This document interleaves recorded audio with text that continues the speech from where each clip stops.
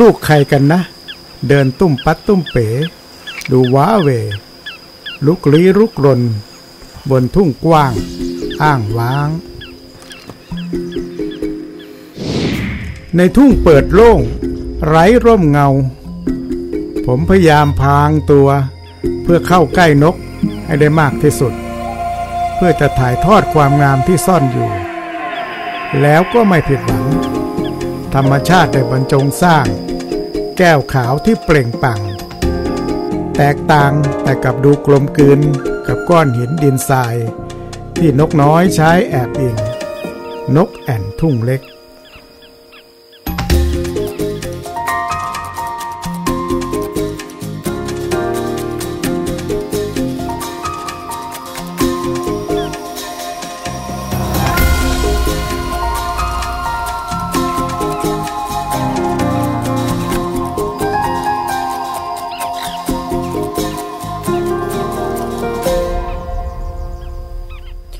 ในประเทศไทยตามประสบการณ์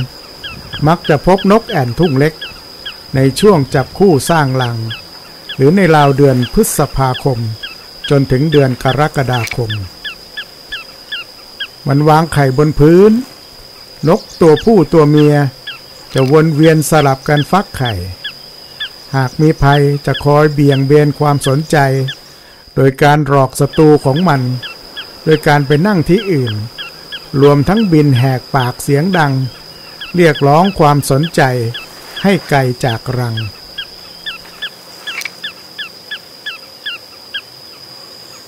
กลางเดือนมิถุนายน จะพบลูกนกวัยอ่อนมากมาย บางตัวก็โตจวนจะได้เวลาบินกลับไปหากิน ในถิ่นที่อยู่ของมัน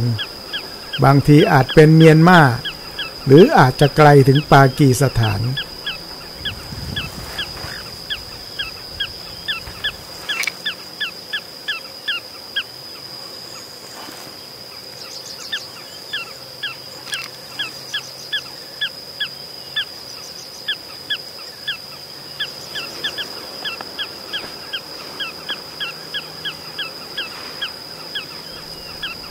ช่วงเวลาฟูมฟักเลี้ยงดูลูกวัยอ่อน ลูกนกจะพยายามออกเดิน ออกวิ่งเพื่อรวมกลุ่ม เพื่อหลบซ่อน แม้แต่แม่นกก็ยังลำบากในการหาลูก เพื่อป้อนอาหาร ปากของแม่คาบอาหาร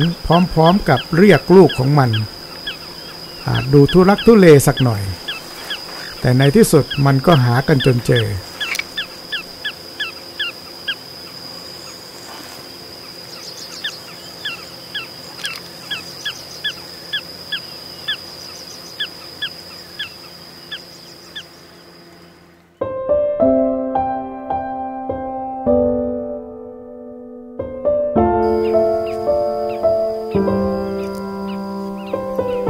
ชีวิตเล็กๆ ที่สอนอะไรมากมาย หากท่านจะพิจารณา นกเหล่านี้ไม่ได้ต้องการอะไรมากไปกว่า พื้นที่หากิน พื้นที่ทำรังวางไข่ เมื่อถึงเวลามันก็มา เมื่อได้เวลาก็จากไป โดยไม่ทำลาย ไม่ทิ้งสิ่งใดและไม่ก่อมลพิษแต่อย่างใด จนกว่าจะได้พบกันใหม่ วันนี้เทปนี้สวัสดีครับ